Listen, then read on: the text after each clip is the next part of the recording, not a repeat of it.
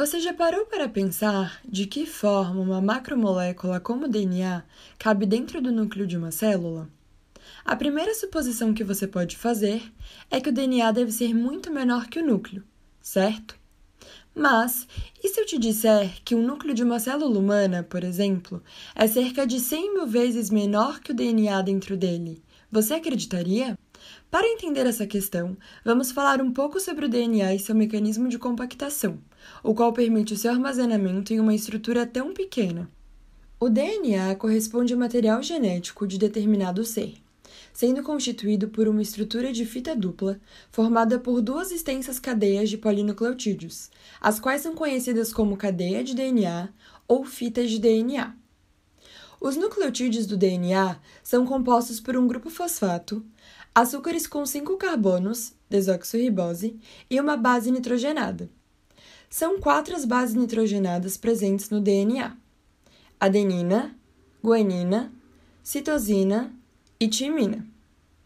A estrutura da molécula de DNA é denominada dupla hélice e consiste em um esqueleto açúcar-fosfato na parte externa da hélice, enquanto as bases nitrogenadas estão voltadas para o seu interior. Esse posicionamento interno das bases permite o pareamento entre elas de forma complementar, em que a adenina pareia com timina e guanina pareia com citosina. Cada espécie tem uma quantidade determinada de moléculas de DNA, sendo que no caso dos humanos, temos 46 moléculas. Agora que já sabemos o que é DNA, para respondermos à pergunta inicial do vídeo, é necessário entendermos os níveis de compactação dessa molécula. O DNA se associa a proteínas histônicas e não histônicas, as quais atuam no processo de compactação. Essa combinação, DNA e proteínas, recebe o nome de cromatina. Quando uma molécula inteira de DNA está associada com proteínas, chamamos de cromossomo. Portanto, o cromossomo é feito de cromatina. O menor grau de novelamento desse cromossomo são os nucleossomos, isto é, segmentos de uma molécula de DNA envolvendo oito moléculas de histonas. À medida que outras proteínas se associam à molécula, ela se torna ainda mais compactada, diminuindo seu comprimento e formando fibras de cromatina cada vez mais grossas. Assim, dependendo da fase em que uma célula se encontra, seus cromossomos podem estar menos ou mais condensados.